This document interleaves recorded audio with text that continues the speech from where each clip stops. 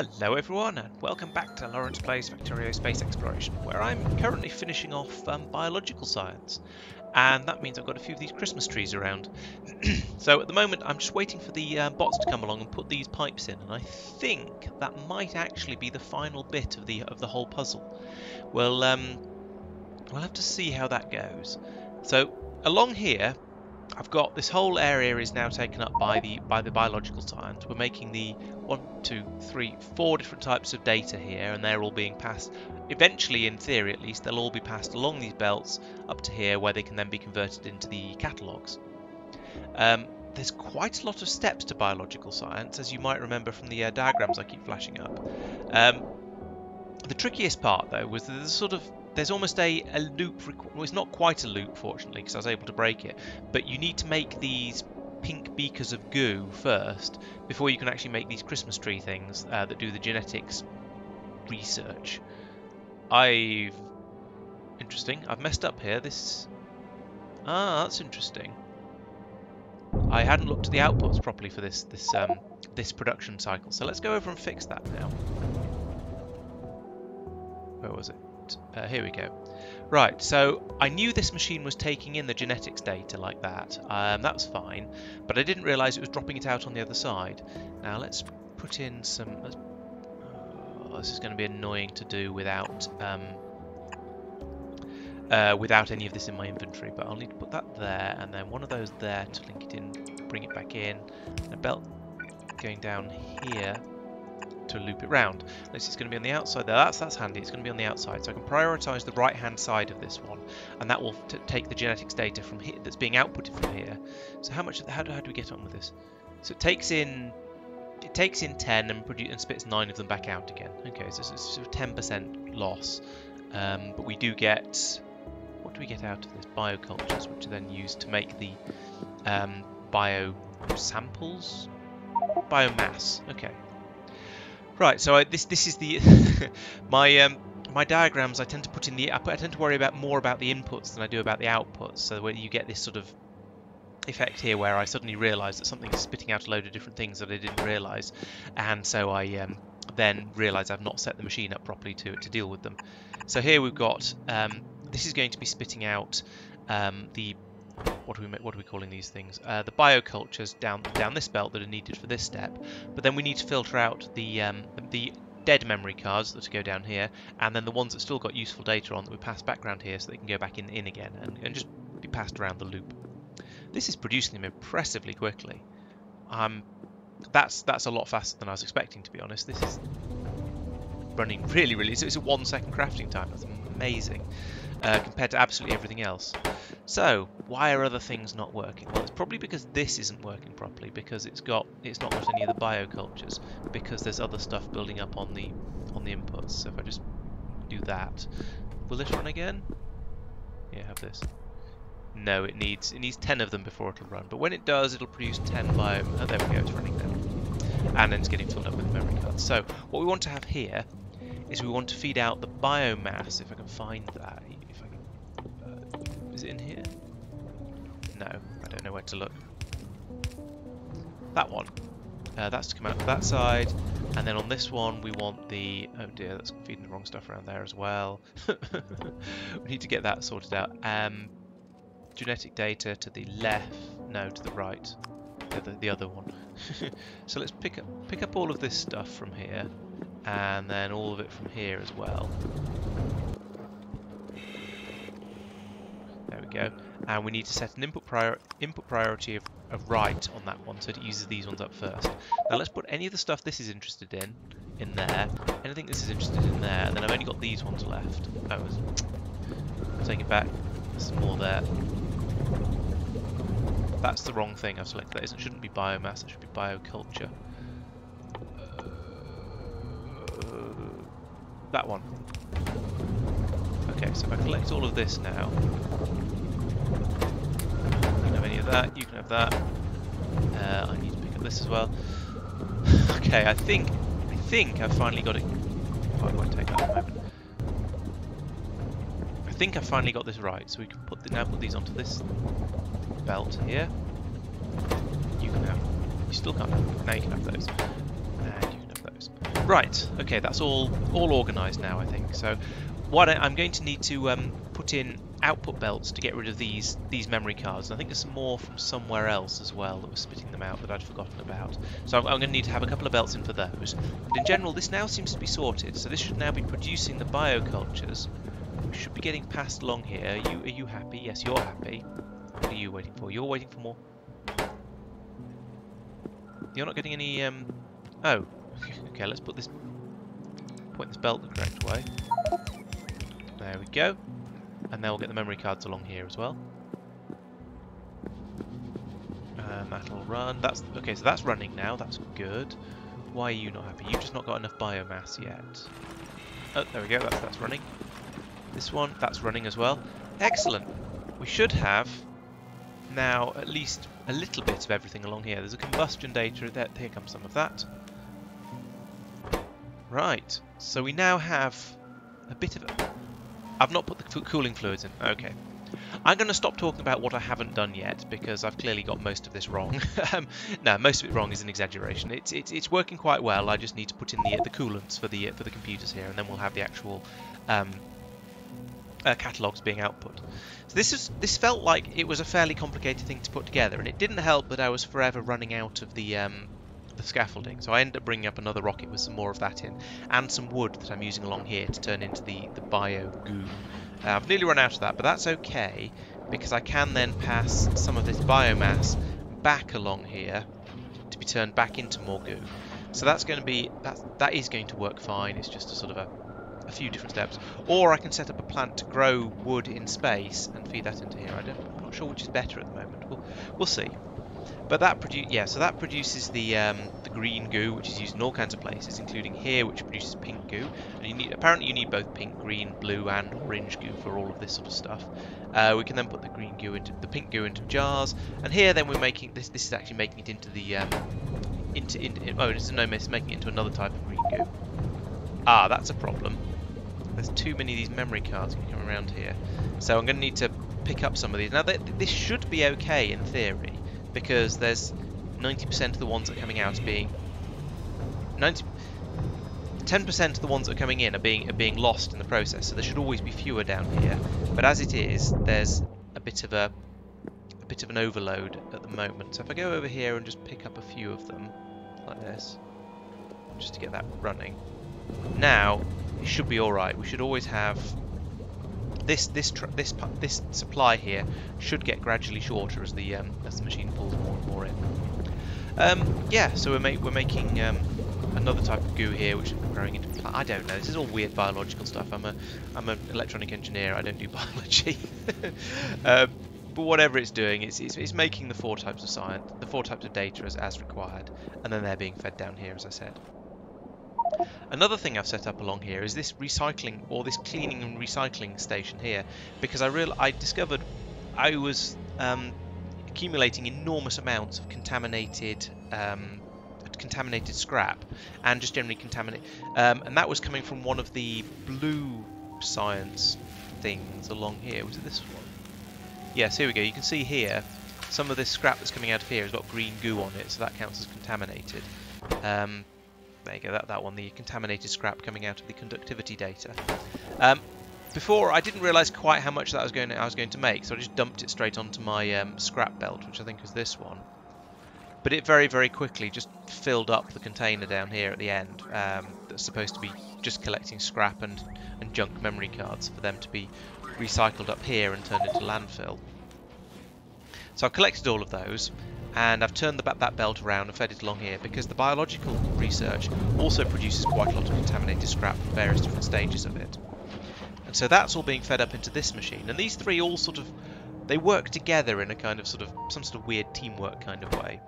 So this one will produce um, contaminated, this, this one will, sorry, takes in contaminated scrap and basically produces, it, it then basically washes it in cosmic water, producing clean scrap, but also to dirty cosmic water and dirty biosludge. Um, so the scrap and actually the uranium ore, when if, if, we ever get any of that, is being fed off down down this belt here. I'm happy to just shove the uranium ore in that chest for now because there's going to be such tiny amounts of it I can deal with it later. Then here we have the contaminated biosludge being cleaned, and that turns into contaminated, more contaminated scrap and biosludge, but it's a very, very small amount of contaminated scrap, so that just gets passed back into this machine by this inserter, which will then eventually pass. So get, in theory, it can get passed back and forth and back and forth, but it will drop in the amount of it that there is will drop so much each time that eventually that it's it's it's a process that should, can carry on working. This one's doing the same with cosmic water, so you wash the cosmic water, you get out contaminated biosludge, cosmic more cosmic water, and contaminated scrap. So it, it all sort of just feeds around in a circle essentially. Um, and as long as we don't get end up with too much cosmic water, it should continue working. That's got a yellow, yellow. Yeah, so we've got, we have in fact got too much cosmic water. So I think I'm probably going to need to put a tank in, and then a limiting condition on the machine that's making the cosmic water, which is down here somewhere. This one yeah, so if I stick in a tank somewhere around here and then wire it up to this to a pump here, then we can tell it that we can tell this machine to stop making cosmic water when the when the tank's nearly full, and then there'll always be a bit of space for for this machine to empty into. So I think that's I think that's going to work quite well. Um, I mean, you know, it's a famous last words and all that. It probably will fail at some and fairly soon, but at the moment, I think the theory is fairly good. Now, I don't feel like I've properly stress tested any of this yet. I've only just got this sort of starting to tick over. I haven't dealt with some of the outputs yet, like these memory cards here, and that's presumably clogged. Yes, that's clogged this up now. So I need to go in and finish that off. But in general, this is now working. It's now working. Oh, and the coolant over here, of course. But I think things are basically working. I'll, I'll need to come along and have a look at the machines along here and basically decide which ones need extra machines putting in. Because as we can see here, um, there's a massive shortage of oh, I don't know, whatever these ones are. The ones with the black these these black labels. The genetic stuff is fine because that doesn't need much in the way of inputs uh, and spits them out really really quickly. So that, that's going fine. These, well, I, I don't know. I'll have to once I've those inserters are in the wrong place.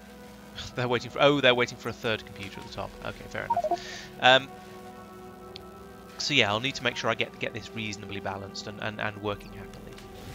Um, in other news, the purple science is going really well. As you can see, this is backed up all the way to here. The blue science is backed up all the way to the point where it stopped production, so that's great. That's um, just, just full. And I can now start thinking about uh, getting the green science onto that belt as well. So that's going to need another set of these to turn the green science um, cubes into green science cylinders. And I'm going to have them on a flag sticking out this side. Then we can feed all three of them in here on a, so I'll have a second belt coming along here. And eventually, yeah, we'll have a fourth fourth type on here as well when I do the, the energy science, I think it is. Uh, no, I've, I've done energy. I can't remember what the other one is. Whatever the other one is. Um, so we'll be feeding all four into this, these machines and getting out, in theory, massive quantities of um, massive quantities of uh, the yellow yellow cards for the inputs. So that's going to make that a lot more efficient. As you can see, this is now backed up on the on the blue side um, because we're not doing any research. And well we've not got enough along here but you know I um, it's only so fast I can produce this stuff apparently. The next step might be to go in and make this system faster perhaps by coming in and putting in more of which one is it? Of course it's these ones. These are the ones that take the um, that require the particle accelerator which is the thing that uses enormous quantities of power so three of these and one of these and two of these is the right ratio.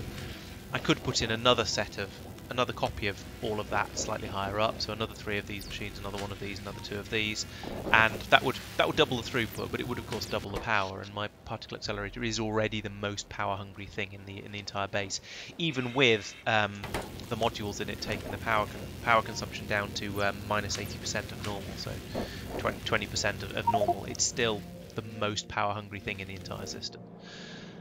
Um, yeah, but generally I think that's going quite well. I did need to do a little bit of fiddling down on the planet to get things working well here. So I've added in... I don't know why these haven't built. They're definitely covered by robot ports. I should be making um, assembly machines. That's very strange. I'm going to have to have a look into that because I thought I wasn't making enough of the um, scaffold, so I thought let's put in some more machines because the inputs are all fine now. And that's because I've drastically increased the amount of glass I'm producing. Where is it? It's oh down here. Um, by putting in a second, I put in a second thing of this. So there's both sides of it now. And they're all, and all of these glass producing machines are full of, have got the um, productivity and speed modules in, so just to keep keep them up, producing more, and producing more with less resources as well, which is quite important. So by the end of this belt, we've got an entire full red belt coming out of here, and that's streaming out. I've upgraded, I think by now, I imagine I've upgraded the belt all the way along. Um, yeah, it looks like it's all been done. And so now there's, even with the uh, the amount that's being used by the low density structure production here, there's a lot of these machines, but that but that means they can produce the low density structures at a bit a slightly better rate, even with the productivity modules in them. So yeah, these are trickling out, but as you can see from this this side, we've got more than we we're using now, so that has that is caught up. So that's that's nice. Um, and those are mostly being used for the um, scaffold up here. And the glass is probably also being used. Yeah, the glass is still being used steadily here for these substrates, but that's okay. Mean, it's um, it's expected. It's known. They they are. We we do need quite a lot of them. Actually, although that said, last time I looked up here on um, uh, on on the space station, I was I did have enough um, memory cards. Actually, that's that's dropped off again. okay, this was full all the way back to back to here and part part of the way up the um, up this thing, and to the extent that this machine has stopped making them. But now as I started using them for green science as well, they're getting eaten up again fairly quickly. But uh, never mind. That sort of shows that we're sort of just about maybe kind of producing enough. and when I feed some of the um, the red one, the the used ones back up here to be reformatted, that'll help a little bit as well. Right, so that's my um, current state of science going on here. I need to, there's a little bit of finishing off up here, so I'll do that and I'll show you again once I've got it running. Back in a mo. Right, I think we're nearly there. As you can see, I'm building up the um, the flags out here now that are going to take the um, big banks of computers that are going to create my biological analytics and um, the, the, the, orange one, energy analytics, I think. Biological science is being built nicely here. You can see the catalogues coming along here. Um, not filled the belt up yet, but it's, it's, it's, working at least, so that's going quite well. Um, one of these is noticeably slower than the others. It's, this one in particular seems to be my limiting factor at the moment. So I put a second machine in here to hopefully speed that up a bit. Next time I go back to Nauvis, I think I might come back with some of the big speed modules and some of the big efficiency modules and shove a load of those into quite a lot of my science machines up here actually. Because I think having the balance between them is going to save me putting in extra machines and it's going to actually save me power overall which is a bit feels a bit weird but um, yeah it should, should should work. But yeah those are trickling along here getting grabbed up by the uh, into the, the computers and we're making science. Now so the next thing is going to be to run the belt up here like like this. No I'm supposed to go under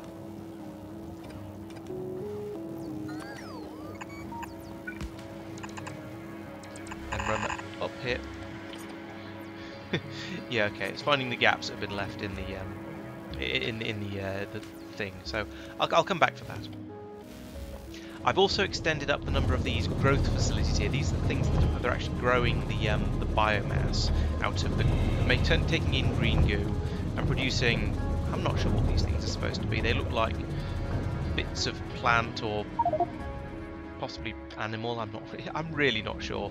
In a jar, but whatever it is, it's getting used quite a lot by the uh, by the research down here, and we are producing it almost quickly enough. So this is another candidate for some speed modules, I think, because part of it is getting passed up this way. Oh, and that's backing up as well, which is which is nice.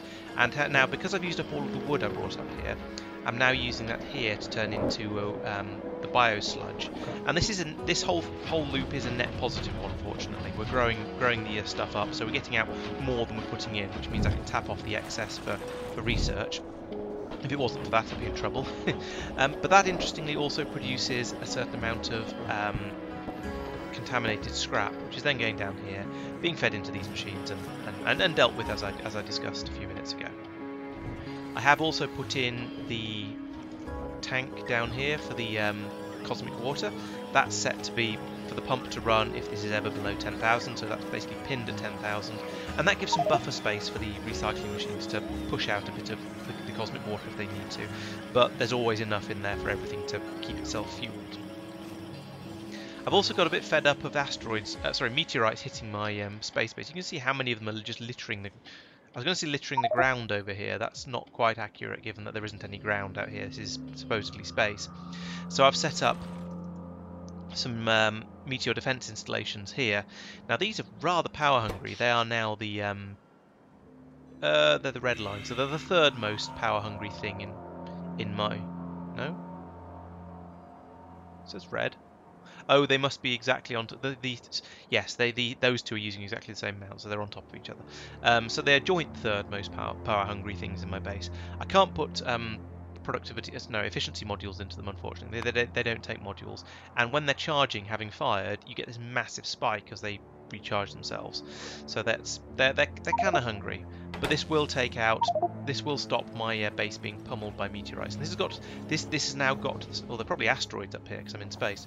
This has now got to the size where I'm sort of, I'm worried about it getting hit by things. There's enough stuff and there's enough sort of expensive stuff, stuff that's difficult to um, replace, that I want to try and keep it safe. Still gaps there. Uh, yeah, I think that's now a good place to uh, a good amount a good amount of progress since the last episode. All of this is is um, basically well basically new not not all new but all up and running now. Um, and some of these some of these machines are kind of complicated to build. These things, for example, require 100 lamps to, for them to, to, be made, which lamps aren't difficult to build. It's just the sheer quantity of stuff that goes into them. These ones, as I discussed, require the pink goo to be made. So, as I was sort of building this out, I had to leave gaps for these until I got to this until I got this stage and all of this built all of this built up and was able to make some of the pink goo in order to make the Christmas trees in order to process it. Um, and yeah, I think this is all running pretty well now. I'm um, I'm generally happy with this, and I I'm trying not to think about these these underground belts and underground pipes here because underground and just through this doesn't really make sense in this context. But oh well, never mind. I'm um, I'm carefully ignoring that and pretending it's and pretending it pretending it makes any sort of sense at all. Maybe at some point later I'll fill these gaps in, but to be honest, I, I don't see any real need to because it's, it's working as it is.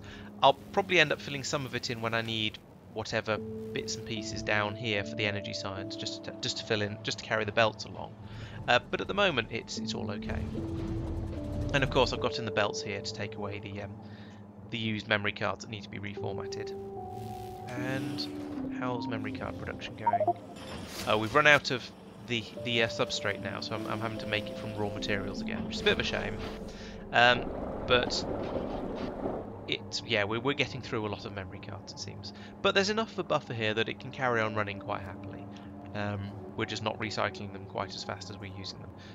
But that's sadly is to be expected, given that um, they do get they do get gradually used up, because some of the ones that come back here for reformatting get... Is it this one's reformatting? Yes, it is. Uh, get junked because they haven't reformatted properly. I've added in another couple of machines here to do that as well because it was getting, um, it wasn't keeping up. But now it seems like I've gone to the other extreme. But that's fine. I don't mind. I don't mind it being excessive like that. Um, and I added in a little bit more solar panel, solar power up here to compensate for these things, which are on their little own little island here. Feel, it feels odd having them on a sort of completely separate thing. I feel like it should drift away or something, but maybe it's anchored by that um, power cable going across there. Who knows? So yes, that's been um, that's biological science. It's obviously not not quite finished yet because I need to get the the processing up here done, and then the um, making the significant data done, and then have another machine like this to make the actual um, science packs themselves. But it's a good, a good step in the right direction. Uh, it's going, yeah, it's going well. I did a bit of research, so it swallowed up a load of this purple science. It's just, yeah, so it's only up going up to here. Um, yeah, good. So I think that's about everything I have to say for, for once. Um, thank you for watching. Uh, I hope you're still enjoying the uh, the series, and um, yeah, it looks like my, my channel seems to be doing pretty well, so I'm guessing at least some of you are enjoying it. And uh, so, as always, thank you for watching, and I hope to see you next time.